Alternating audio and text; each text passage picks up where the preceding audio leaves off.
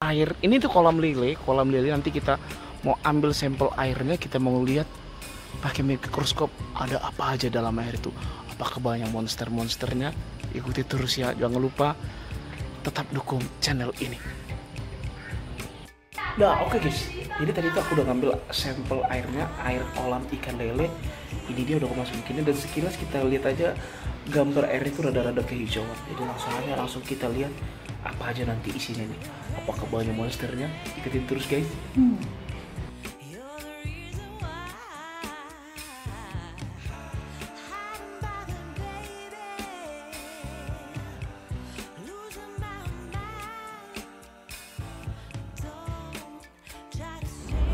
Dan ini penampakan ketika kita lihat melalui mikroskop dengan lensa perbesaran 40 kali sudah kelihatan jelas banyak organisme yang lagi bergerak-gerak.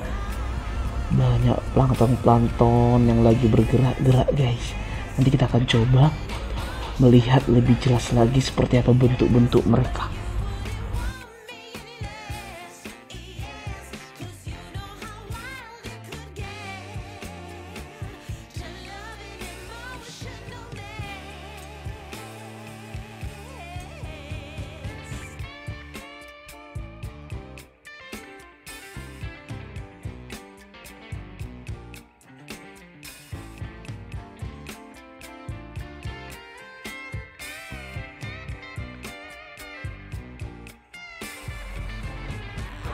dan ini dia penampakan ketika kita perbesar lensanya di zoom 600 kali guys. Dan kita lihat ada abang-abang yang lagi santai sambil cari makan guys. Dan sedikit informasi buat kalian buat ini abang-abang yang lagi imut-imut lagi bergerak-gerak ini cari makan. Kita dapat melihat jelas dia itu lagi masuk ke sela-sela sambil cari mangsa.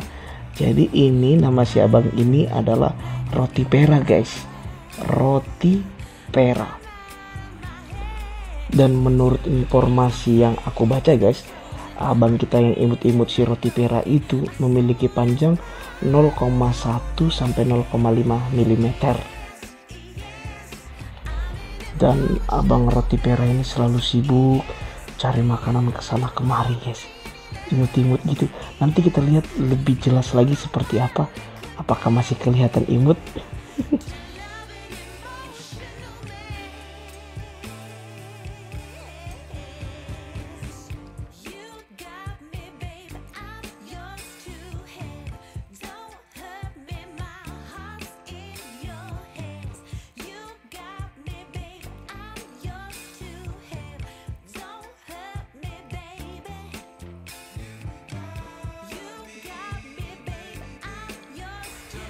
dan akhirnya setelah kita zoom lebih dekat lagi dengan lensa perbesaran 1000 kita dapat melihat lebih jelas lagi abang si roti pera ini guys. Dan kalau kita lihat semakin jelas nampaknya dia udah nggak imut lagi guys. Malah kelihatan agak seram gitu. Apalagi kita lihat di ujung mulutnya itu seperti giginya berputar itu guys. Nah udah nggak kelihatan imut lagi guys. Dan kelihatannya dia sangat lahap lagi makan sambil memutar-muter giginya yang di depan itu guys Bagaimana pendapat kalian dengan melihat ini guys? Agak-agak ngeri gimana juga ya?